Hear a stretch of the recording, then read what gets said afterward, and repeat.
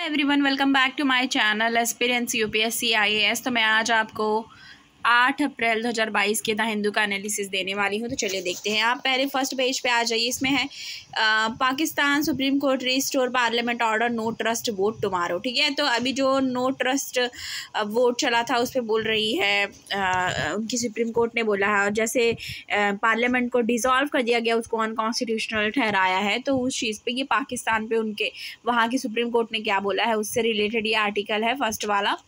दूसरे पे ये देख लीजिए कि Russia suspended from right council.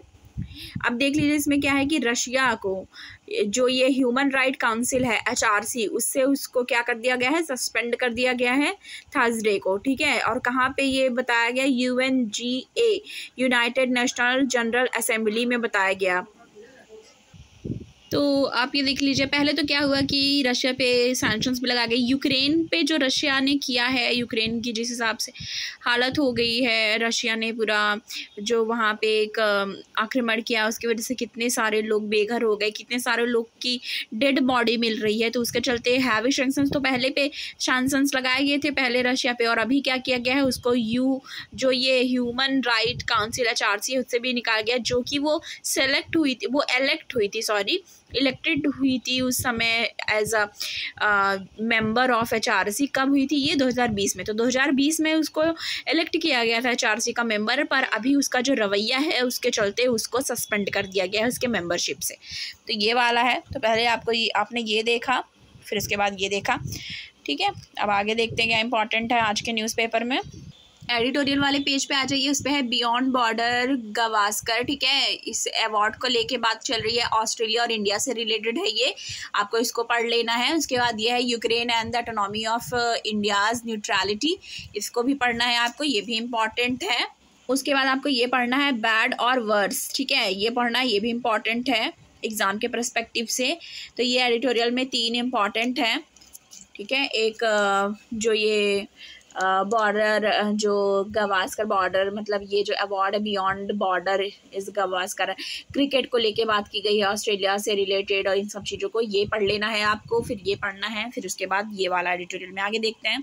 अब ये देख लीजिए इसमें ये वाला न्यूज़ पढ़ना है नेक्स्ट पेज uh, पे एडिटोरियल के is India's position on Russia affecting its relationship with US से अभी इसमें क्वेश्चन मार्क है तो ये इसमें क्वेश्चन एंड आंसरिंग बताई गई है। इसमें यह है कि क्या जो रसिया इंडिया uh, का इंडिया का पोजीशन जो रसिया के साथ है जो रशिया uh, के साथ जो आ, मतलब एक टाइज दिख रही है जो रशिया के ख़िलाफ़ खुल के इंडिया बोलती नहीं है तो क्या वो एक हमारी जो रिलेशन है यूएस के साथ क्या उसका इफ़ेक्ट करेगी तो उससे रिलेटेड क्वेश्चन आंसरिंग है, ये भी आपको देख लेना है। आगे देखते हैं। उसके बाद ये वाला देखना है how much more will petrol prices increase in India तो इसमें क्वेश्चन ये है कि कितना और पेट्रोल प्राइजेज इंक्रीज होगी इंडिया में? ये क्वेश्चन है, ठीक है? तो इसको भी पढ़ना है, ये भी बहुत ज़्यादा इंपॉर्टेंट है पेट्रोल से रिलेटेड तो जितने भी फ्यूल प्राइजेज वगैरह से रिलेटेड होते हैं, वो क्वेश्चन आते हैं और इसके बारे में आपको as a U P S C experience जानना भी ज़रूरी है। तो ये वाला भी आपको अच्छे से पढ़ लेना है। आगे देखते हैं क्या पढ़ना है आज के न्यूज़पेपर में।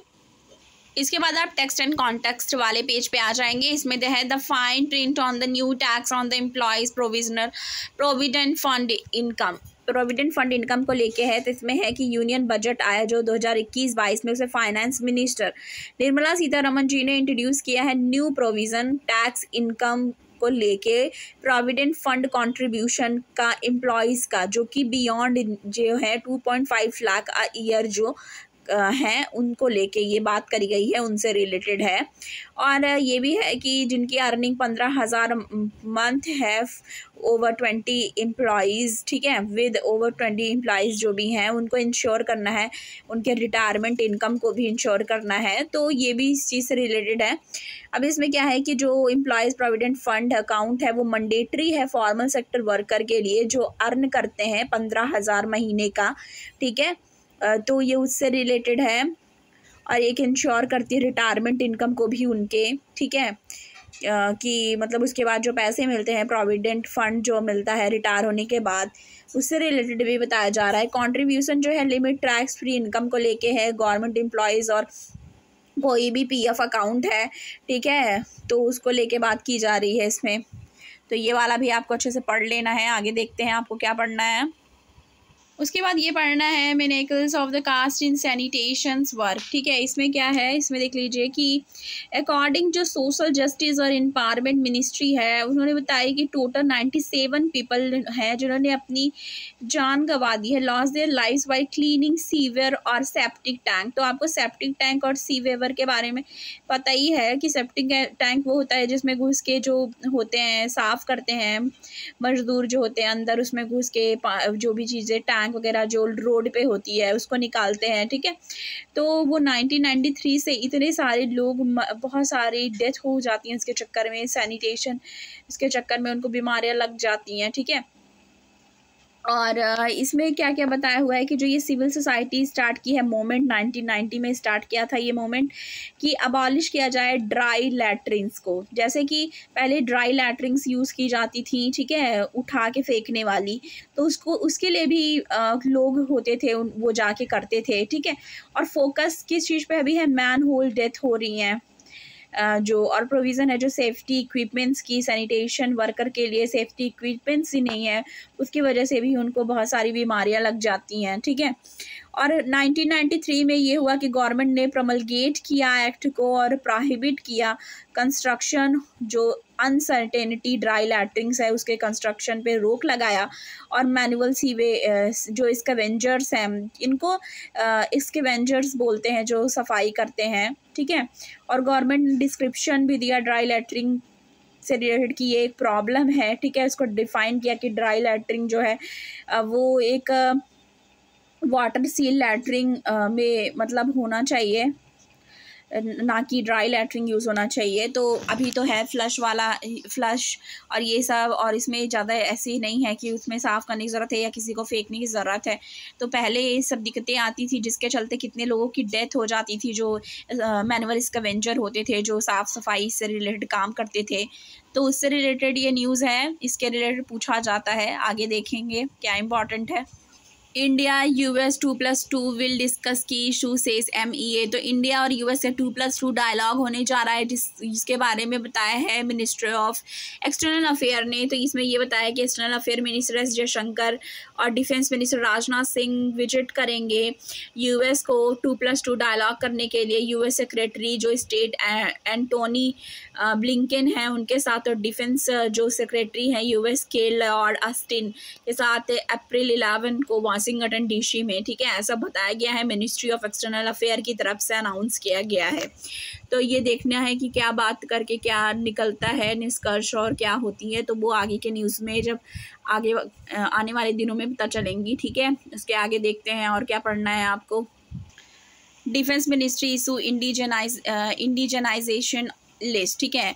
अभी इंडिजन इंडिजनस मतलब क्या होता है? स्वदेशी, यानी कि यहीं पे बनी हुई चीज़ें। जैसे इंडिया है तो इंडिया में बनी हुई चीज़ें को इंडिजनस बोला जाता है। तो ये है कि अभी हम इंडिया में ज़्यादा से ज़्यादा चीज़ें यहाँ बनाने के लिए, यहाँ मैन्युफैक्चर करने के लिए फोकस कर रहे हैं। तो उस पर डिफेंस मिनिस्ट्री ने एक इंडिजनाइजेशन के लिए लिस्ट जारी किया है कि किस किस चीज़ में हम खुद से बनाएँगे। तो इसमें लिस्ट में इंक्लूड होता है नेवल यूटिलिटी हेलीकॉप्टर्स हैं नेशनल टैंक्स हैं स्मॉल जो अनमैंड एरियल व्हीकल हैं और एंटी शिप मिसाइल है तो ये सारी चीज़ें इसमें इन्वॉल्व है। और डीआरडीओ जो है defence research and development organisation ने हैंड ओवर किया है। Thirty transfer of technology agreement twenty five Indian industries के साथ और transfer of twenty one technology developed by sixteen D R D O labs across the country ठीक है?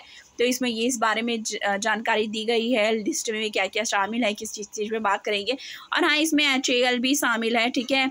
ये expect किया जा रहा है कि एचएएल जो है, वो भी इसमें रहेगी पार्टनरशिप में। देखा जा आगे चल के पता चलेगा, पर ये एक्सपेक्टेशन है कि एचएएल भी शामिल होगा। एच का फुल फॉर्म आप सबको पता ही होगा हिंदुस्तान एरोनॉटिक्स लिमिटेड ठीक है? आगे देखते हैं आपको क्या पढ़ना है और अभी ये वाला है Gati Shakti P L I will offset global head wind spur growth finance ministry ठीक है? अब इम्पैक्ट क्या है? जियो पॉलिटिकल टेंशन का फ़ूड पे फर्टिलाइज़र पे ऑयल प्राइजेस पे, ठीक है? क्लाउडिंग प्रस्पेक्टिव पे प्रस्पेक्ट्स पे तो ये उससे रिलेटेड है, ठीक है? इसमें क्या है कि जो गति शक्ति है और जो प्रोडक्शन लिंक्ड इंसेंटिव है पी एल आई स्कीम वो ऑफसेट है ग्लोबल हैंड विंड और जो भी ड्राइव इन्वेस्टमेंट है, जैसे कि हाई पोस्ट रिकवरी ग्रोथ है इंडियन इकोनॉमी का। ऐसा फाइनेंस जो मिनिस्ट्री है, उसने अपने रिपोर्ट में बताया है, ठीक है? तो ये भी आपको पढ़ना है। तो आज के न्यूज़पेपर में इतना ही। और हाँ अभी आप जो लोग इस बार एग्ज़ाम देने वाले हैं तो अभी आप प्लीज़ अपना जो प्रीवियस ईयर पेपर है, वो करना शुरू कर दीजिए। मॉक टेस्ट मार्केट से ख़रीद लीजिए। जो भी एक दो कोचिंग के हो, वो भी करना स्टार्ट कर दीजिए। क्योंकि अभी आपके एग्ज़ाम में ज़्यादा टाइम नहीं बचा है। ठीक है?